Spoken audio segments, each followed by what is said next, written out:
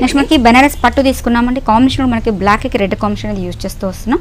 So మనకి border wise తీసుకుంటే మనకు ఒక జూట్ వీవింగ్ లాగా మనకి హాఫ్ మీటర్ పల్ల జూట్ అనేది ఇచ్చారు. అదేవిధంగా సైడ్ వైజ్ తీసుకుంటే రెడ్ కాంబినేషన్ ఇచ్చారు.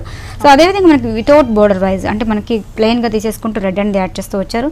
మిడిల్ పార్ట్ మొత్తం మనకు ఒక వీవింగ్ స్టైల్లో తీసేసుకుంటూ ఒక ఫ్లవర్ లోటస్ ఫ్లవర్స్ అనేది కంటిన్యూ చేస్తామండి. దీంట్లో మనకి గ్రీన్ అండ్ రెడ్ కాంబినేషన్స్తో శారీ మొత్తం మనకి టోటల్ డిఫరెంట్గా ఫ్లవర్ బుటీస్ అనేది ఇవ్వడం జరిగింది.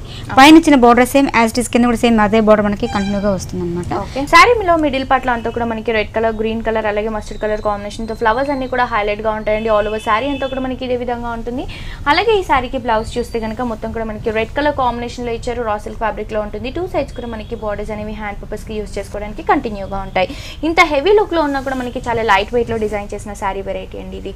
సో ప్రైస్ పడుతుంది ప్రైస్ కూడా మనం రీజనబుల్ అండి నైన్ థౌసండ్ సిక్స్ హండ్రెడ్ రూపీస్కి దీంట్లో కలర్స్ కాంబినేషన్స్ కూడా మనకు చాలా ఉంటాయి.